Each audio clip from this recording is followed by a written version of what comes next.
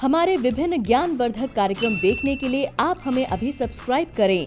Bell icon को press करें ताकि आप देख सकें हमारा कार्यक्रम सबसे पहले। और अधिक जानकारी के लिए फेसबुक पेज को लाइक करना न भूलें। जय माँ, इंद्राक्षी। इंद्राक्षी धाम में दर्शकों, आप सभी का हम हार्दिक स्वागत करते हैं। आज के दिन जिन जातकों का जन्मदिवस है मैरिज एनिवर्सरी है, उन सभी को हमारी तरफ़ से बहुत बहुत शुभकामनाएँ। आज का पंचांग, सात दिसंबर सन 2020 दिन सोमवार, मार्गशीर्ष, कृष्ण पक्ष, संबंध 2077 तिथि आज सप्तमी है, नक्षत्र मगा है, राहु काल साढ़े सात से नौ, दिशा सूल पूर्व दिशा। आज हम अपने सभी साध, साधकों से भगवती पीताम्बरा की बात करना चाहते हैं। बगलामुखी साधना। बगलामुखी साधना में कुछ लोगों के अंधविश्वास हैं, जिन्हें हम आज दूर करेंगे। जैसे, बहुत लोग डरते हैं कि बगलामुखी की साधना बहुत तीक्ष्ण होती है, बगलामुखी की साधना से बहुत नुकसान हो जाता है। तो आज कुछ ऐसे ही साधना के तथ्यों पर हम आपको जानकारी देना चाहते हैं और आपका ध्यान केंद्रित करना चाहते हैं। बगलामुखी की साधना बहुत अच्छी साधना है। बगलामुखी माँ की साधना त्वरित फल देने वाली साधना है। लेकिन अच्छे से आपको मंत्र विधि आती हो, अच्छे से आपने किसी से मंत्र ग्रहण किया हो, और बहुत ही तौर तरीके के साथ, नियम संयम के साथ आप अपनी भगवती बगलामुखी की साधना को कर रहे हों। निश्चित फल मिलेगा अच्छा फल मिलेगा अब यहाँ जानिए एक गलती। हम हमेशा माँ पीताम्बर की साधना को ये समझ लेते हैं कि ये हमेशा दूसरों को कष्ट देने वाली साधना है। ये हमेशा जिस जिसके लिए भी हम चाहेंगे, उसके ऊपर ये असर करती है, उसको हमारा दास बना देती है। ये साधना जिसके लिए हम करते हैं उसे हम दबा सकते हैं, उसका हम दमन कर सकते हैं। ऐसी बातें बहुत लोगों के मन में आती हैं। इसमें कोई शक नहीं है कि ये साधना शत्रुओं का विनाश करती है ये साधना शत्रुओं का दमन करती है लेकिन किन शत्रुओं का? आपने कभी सोचा है? किन शत्रुओं का ये साधना विनाश करती है? बहुत बहुत मैं आपसे को झंझोड़ने वाला हूँ इस, इस इस एपिसोड में। आपको बहुत ध्यान से जाननी पड़ेंगी आज की बातें। किन शत्रुओं का ये विनाश करती है? शत्रु तो हमारे अंदर भी हैं। काम है क्रोध है लोभ है मोह है। तो इन शत्रुओं का भी ये विनाश करती है, भगवती की साधना, समझे?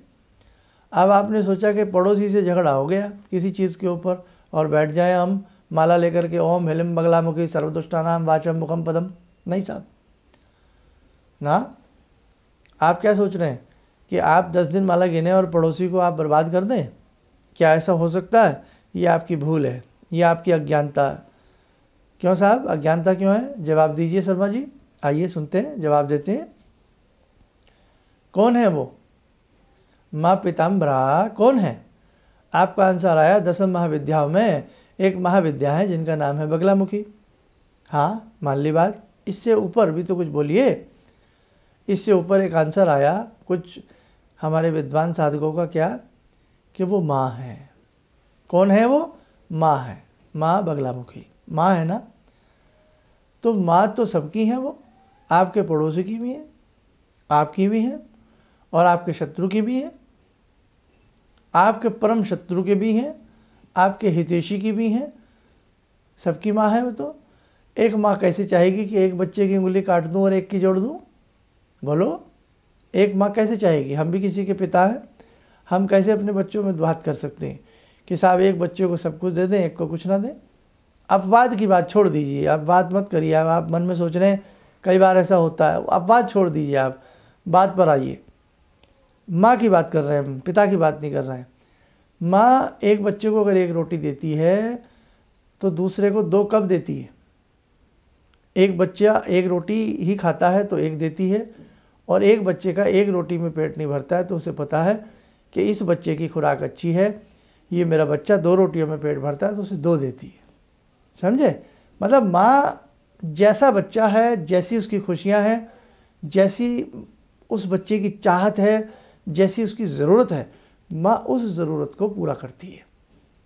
तो ऐसे ही मेरे साधकों, कदापि इस मोह में, इस कच्चे लालच में मत आ जाना कि मैं बगलामुखी का मंत्र पढ़ के किसी का विनाश कर दूँ। ये गलत सोच है, ये गलत बात है। ऐसा मत सोचना। क्यों? जितनी माँ वो आपकी हैं, इतनी माँ वो उसकी भी हैं। हाँ ये साधना शत्रु दमन में कब असरकारी है? अब इसका आंसर भी हमसे सुन लीजिए। आज कुछ मुझे लगता है भगवती की कोई ऐसी महती कृपा हुई है जो ये सब्जेक्ट लेने को हमारा अचानक मन हुआ और आपसे हम बातें कर रहे हैं। भगवती जब चाहती हैं, तभी बुलवाती हैं। हमने ये बात देखी है। अब कब दमन करती हैं शत्रुओं का? वास्तव में, हकीकत में आपका वो शत्रु है कैसे? कि बहुत पीड़ा देता है आपको। हर बात में आपको पीड़ा देता है। आपकी कोई गलती नहीं है। गलती उसने की है। एक लाख आदमी सभी बोल रहे हैं कि भाई इस व्यक्ति ने गलती की है। एक व्यक्ति गलत हो सकता है, एक हज़ार गलत नहीं हो सकते। कि गलती भी उसी की है। कहते हैं ना, चोरी और ऊपर से सीना चोरी। उस व्यक्ति ने बहुत बड़ी गलती की है। बहुत कष्ट दिया आपको। और जब नाक, पानी ना नाक से ऊपर आ गया, तब आपका मन हुआ कि साहब, अब हम भगवती की शरण में जाएँ, हम अपना बचाव करें। हमने माला उठाई, हमने किसी भी आचार्य जी से अच्छे से मंत्र विद्या सीखी, साधना सीखी, और हम साधना में लग गए। लेकिन हमारा बाल मन, हमारा ऐसा मन कि हम साधना में भी भगवती से क्या कह रहे हैं?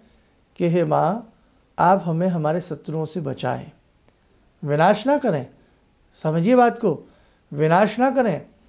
आप हमें हमारे शत्रुओं से बचाएँ। बस। हम विनाश की बात नहीं कर रहे हम अपने बचाव की बात कर रहे हैं। और अपना बचाव, धर्म कहता है, जो अपना बचाव नहीं कर सकता, वो किसी, किसका बचाव करेगा? अपना बचाव करना चाहिए। अपना बचाव करना आएगा, तभी हमें दूसरों का बचाव करना आएगा। हमने भगवती से प्रार्थना की, अब भगवती वसुंधरा हैं, भगवती रितंबरा हैं पीतम्बरा हैं, भगवती करुणामयी हैं, प्रसन्न हो गई। उन्होंने देखो देखो मेरा बालक, मुझसे क्या मांग रहा है? जबकि इसे पता है कि उसने गलती की है, सब कुछ गलत किया है, लेकिन फिर भी मेरा बालक क्या मांग रहा है? तो भगवती क्या करती हैं? भगवती आपके बल को बढ़ा देती है।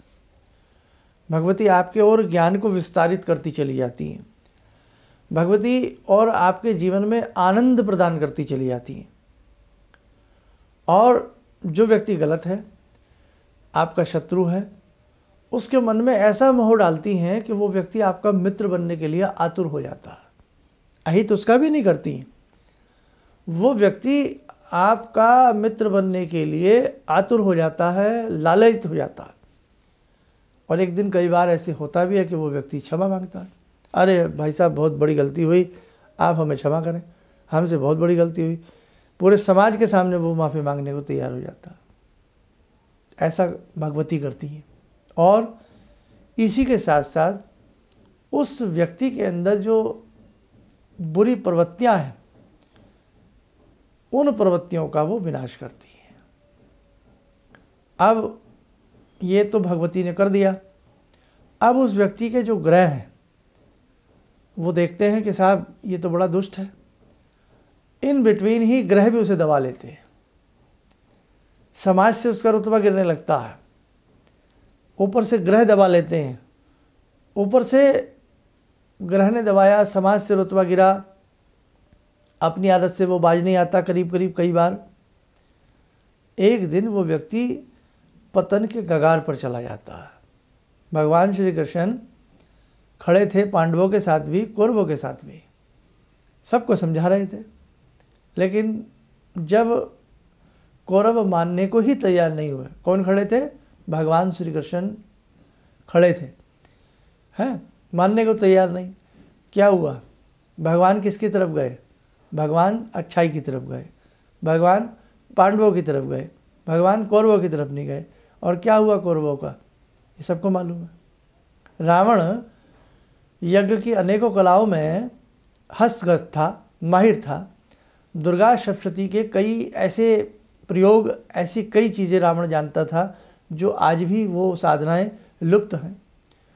रावण की ऐसी पारंपरिक साधनाओं को रावण जानता था, जो आज लुप्त प्राय हैं। रावण संहिता जिसके ऊपर रची जा चुकी है। है ना? रावण इतना विद्वान होते हुए, रावण भगवान शिव का अनन्य भक्त था कि अपना शीश काट करके नवा दे भगवान शंभू को। लेकिन जब उसमें बुराई पनपी तो भगवान उसकी तरफ़ नहीं गए। भगवान ने मोह छोड़ दिया उसका। और वही रावण जिसने इतने दुर्लभ स्तोत्र की रचना की हो, आपने सबने देखा है ना? किस प्रकार से पढ़ते हैं आप? अखर्व सर्व मंगला कला कदम मंजरी। रस प्रवाह माधुरी व्रजम बड़ा मधुरवतम। है ना? तो ऐसे ऐसे रावण विद्वान था, लेकिन विद्वंता धरी रह गई। तो कहने का भाव कि भगवान हमसे ज़्यादा हमसे ज़्यादा क्या तुलना ही नहीं है, अतुल्य है। हम जितना, हम ज़्यादा से ज़्यादा चाहते हैं ना भगवान से हम किसी का बुरा करा लें, नहीं हो सकता। तो क्या रावण ने भगवान से प्रार्थना नहीं की होगी कि मेरी विजय प्राप्त हो। सोचो, रावण ने भी तो सोचा होगा कि हे भगवान, मुझे विजय श्री मिले। लेकिन मिली नहीं ना। तो अन्याय का साथ भगवान नहीं देते। तय हो गया? और दो उदाहरण। बहुत बड़ी वीडियो हो जाएगी मेरे साथ को। है ना? इसलिए आप थोड़े में ज़्यादा समझें। तो बगलामुखी साधना के प्रति गलत फहमी निकाल दें आप। कि साहब मैं बगलामुखी साधना कर रहा हूँ तो मैं सबका नाश कर दूँगा। मैं सबका विनाश कर दूँगा। ये साधना दूसरों का विनाश करती है। नहीं साहब, ये तो बहुत सुंदर साधना है। ये तो बहुत अच्छी साधना है। दसम महाविद्याओं में श्रमौर साधना है। बहुत प्यारी साधना है।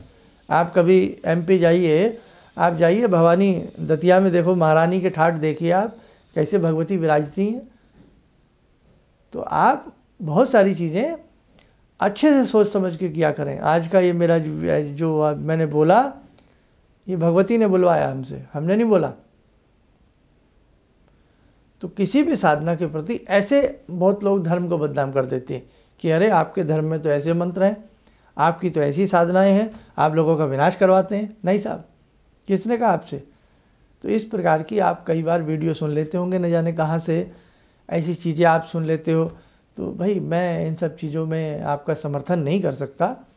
इसलिए कई बार ऐसे लोग हमसे भी मिलने आ जाते हैं कि शर्मा जी हमें किसी का विनाश करना है या हमें ऐसा कुछ सो, सोचना है ये हमारा शत्रु है। नहीं साहब हम हम हम इसका काबिल नहीं है। हम तो आपको वो मंत्र दे सकते हैं हम तो आपको वो साधना दे सकते हैं जो साधना आपका बचाव करे आपकी सुरक्षा करे और किसी का अहित ना करे।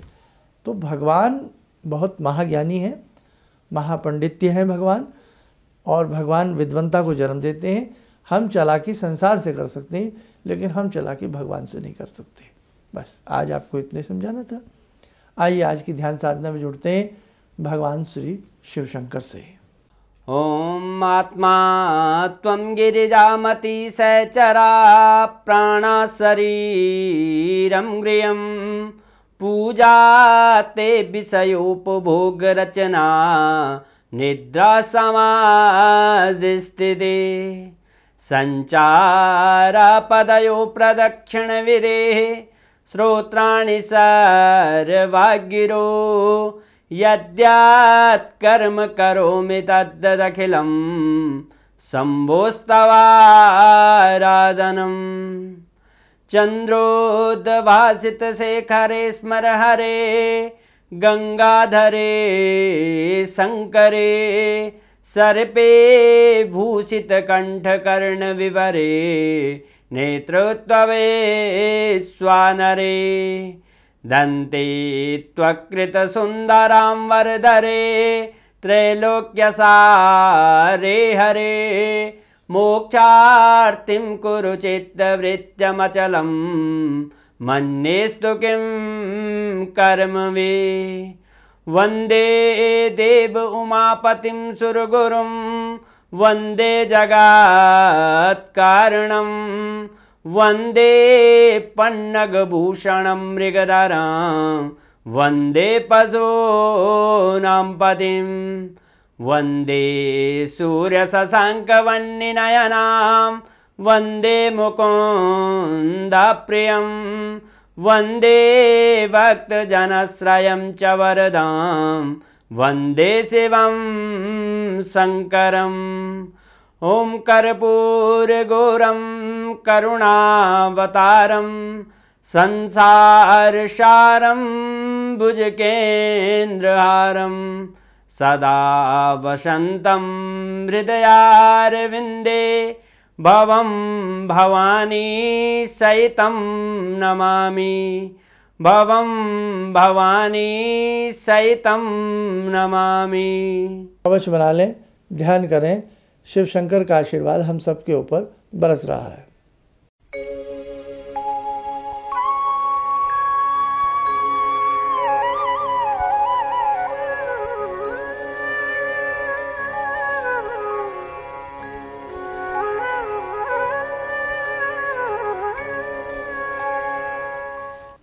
ओम बोलते हुए नेत्र खोलें, सामान्य हो जाए।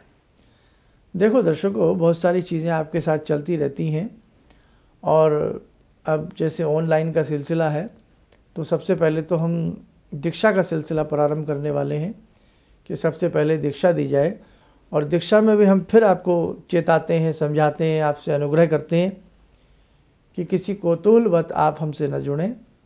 अगर आपके मन में कहीं कोई समर्पण भावना है गुरु शिष्य की भावना है, जीवन में कुछ पढ़ना चाहते हैं, सीखना चाहते हैं तो उन्हीं शिष्यों का हम आदर करते हैं और वो शिष्य का हम स्वागत करते हैं। ऐसे ही शिष्यों की हमको तलाश है और आवश्यकता है। तो कुछ दिन में शीघ्र से शीघ्र हम दीक्षा का कार्यक्रम बताएँगे कैसे होगा, तब आप सारी चीज़ें सुन लेना। जय माँ। इंद्राक्षी। मेरी बहुत दिन से दिली इच्छा थी कि आप जैसे कोई मुझे धर्मात्मा पर महापुरुष मिले और मैं वहाँ जाके जुड़ के और देश, समाज से के लिए कुछ कर पाऊँ। कई चीज़ें हैं समाज में, समाज सेवा में भी मन में वो शांति नहीं मिली। जैसे आप समझ सकते हैं कि बहुत सारी गड़बड़ियाँ भी रहती हैं। आज का अनुभव यही है कि मुझे आस लगता है कहीं सही रास्ता मिल गया है, सही मंजिल मिल गई है, जो मैं करना चाहती थी शायद अब मैं कर पाऊँगी। किसी भी समस्या के समाधान के लिए मिले प्रसिद्ध हस्तरेखा एवं वास्तु विशेषज्ञ प्रोफेसर धर्मेंद्र शर्मा जी से नोट। शिविर में भाग लेने हेतु एवं व्यक्तिगत रूप से मिलने के लिए कॉल करने का समय सुबह 10 बजे से शाम 6 बजे तक। हमारे विभिन्न ज्ञान वर्धक कार्यक्रम देखने के लिए आप हमें अभी सब्सक्राइब करें, बेल आइकन को प्रेस करें ताकि आप देख सकें हमारा कार्यक्रम सबसे पहले। और अधिक जानकारी के लिए फेसबुक पेज को लाइक करना न भूलें।